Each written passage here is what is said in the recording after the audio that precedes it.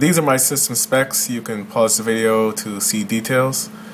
I have this type of case that has the USB 3.0 on the top and extra USB ports in the front. Turns out my H100 was not working, which it is now. Um, what I did was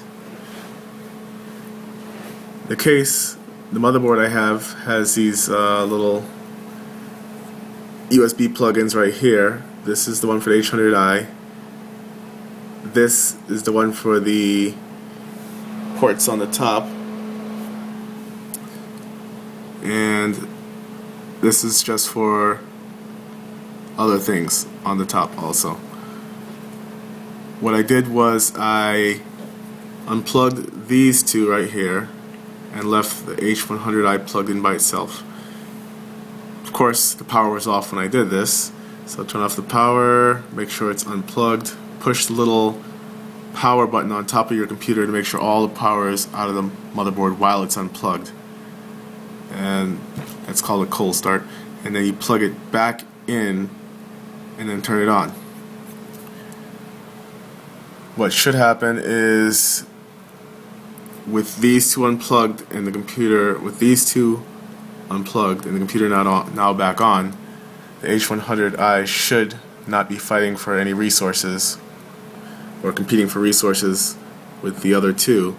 So it should start working again. Mine did. It wasn't showing at all.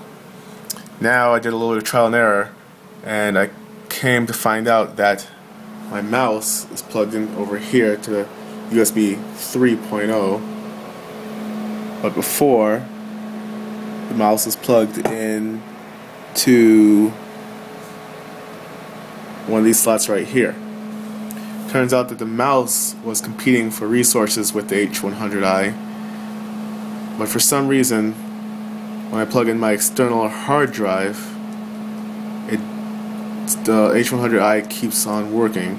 So it turns out it's just the mouse. The H100i and the mouse somehow don't like each other. They were competing for resources. Um, the external hard drive does not seem to compete for resources with the H100i. So what I did was I plugged these two back in afterward and the H100i continued to work.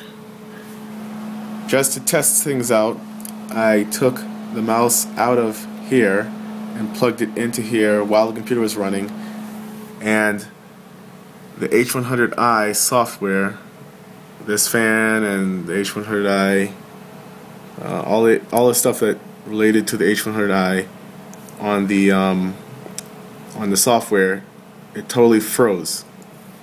Then I shut the software off, the Corsair link off, turned it back on, and the H100i stuff was not working. It was just totally gone, just not working at all not even showing up really. So I unplugged the mouse from here, plugged it back into here, didn't touch these things right here, and restarted the computer with the mouse plugged in over here.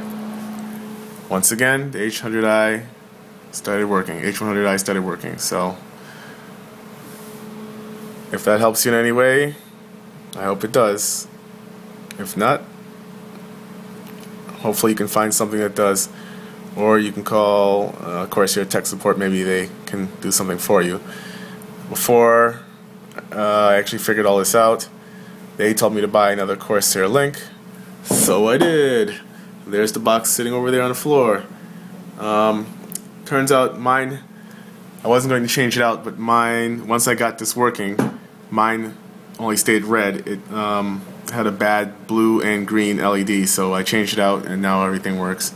So I'm sending the broken one back to Corsair. I hope this video has helped you in some way.